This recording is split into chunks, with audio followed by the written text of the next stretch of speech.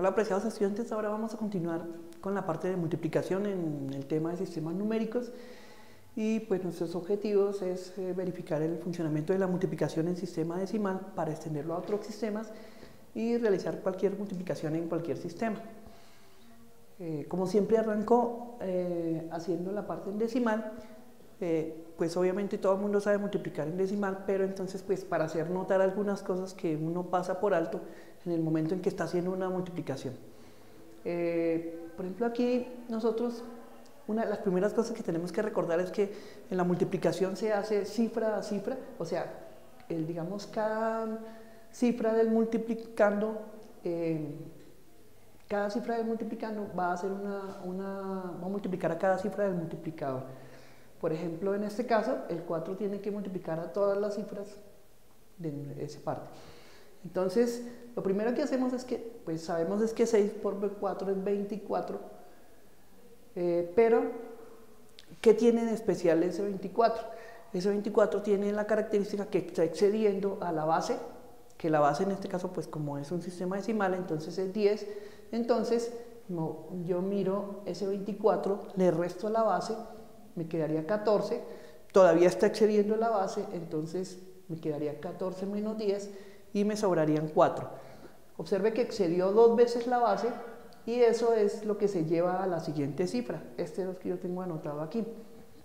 Cuando, cuando, cuando excede dos, más de dos veces, más de una vez, entonces cuántas veces excede a la base es lo que se lleva a la siguiente cifra.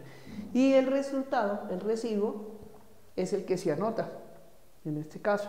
Entonces 4 por 6, 24, excede dos veces la base y se anota el 4. Así se hace con, la siguiente cifra.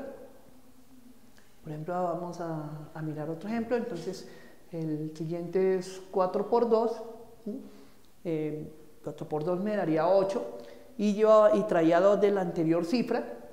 Entonces, eso me daría 10. 4 por 2, 8. 8 más 2, 10. Y nuevamente hago la verificación con la base.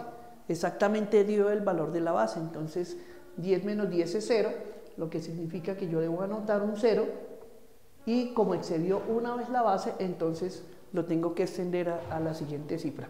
Así ocurre con todas las cifras de ese, de ese eh, multiplicador y entonces eh, ahora solamente queda eh, la última, operación, entonces 4 por 6, 24 y del anterior venían 2 más 2, entonces eh, ya no hay más cifras que bajar, por lo tanto ese 2 bajaría y completa esa parte.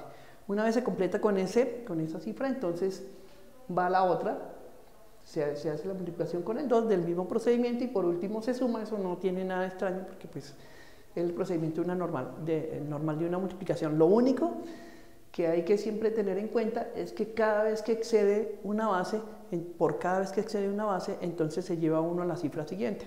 Eso es lo que se hace notar para extender a, las siguientes, a los siguientes sistemas numéricos.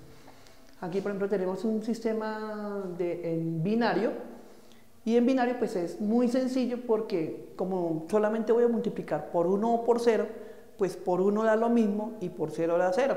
Entonces, en el caso de acá del 0, pues al multiplicar por cada una de estas esta cifra por cada una de las del multiplicador, entonces, el multiplicando, entonces yo voy a hacer 0 por 1, 0, 1 por 1, 0, 1 por 0, 0, siempre va a dar 0 esta parte de acá.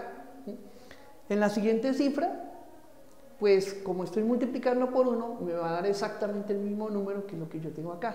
Lo único pues es que estoy tabulando y en la siguiente cifra nuevamente estoy multiplicando por 1 y nuevamente me va a dar exactamente el mismo número. O sea que en la multiplicación en un sistema binario es la más sencilla porque solamente estoy multiplicando por esos dos valores. Ya después que tengo todo tabulado y los valores, pues entonces se hace una suma, como se vio en el caso de la suma. Y mm, pues recordemos que por ejemplo en este caso cuando se suman varios, varios números, pues lo que yo puedo hacer es que contar cuántos pares hay. Por ejemplo aquí mm, me da cero Aquí tengo un, solamente un 1, que es un impar, entonces cuando tengo un impar anoto el 1 y ya no, no hay más, solamente hay uno. En el siguiente caso tengo dos unos, o sea que es un par, por lo tanto el resultado me va a dar 0. Y como eh, completé un par, entonces quiere decir que a la cifra siguiente se lleva un 1. Quiere decir que ahora tengo un 1 aquí y un 1 aquí. Nuevamente tengo dos unos, lo que es un par, por lo tanto me da 0. Y llevo 1 a la siguiente. Aquí no hay ningún 1, todos son ceros. Es un impar, entonces anoto el 1, no llevo nada. Aquí tengo tres ceros, me da 0. Aquí tengo solamente un 1, es un impar, por lo tanto anoto 1, no llevo nada Aquí tengo 1 y 1, es par, eh, entonces anoto 0 y llevo un 1 a la siguiente cifra, nuevamente me va a dar un 1 aquí, con el 1 acá me va a par nuevamente, entonces anoto un 0 y llevo 1 a la siguiente cifra, como ya no hay más cifras que sumar, entonces bajo la última cifra y entonces ese sería el resultado de, la, de esa multiplicación. Mm, miremos otro ejemplo en, en otro sistema numérico por ejemplo, el caso octal, entonces se hace con referencia a base 8. Aquí sí, por ejemplo, multiplicamos 3 por 7 en decimal, pues el resultado sería 21, normal. Pero como la referencia en este caso es 8, entonces no sería 21 menos 10, sino que en ese caso sería 21 menos 8.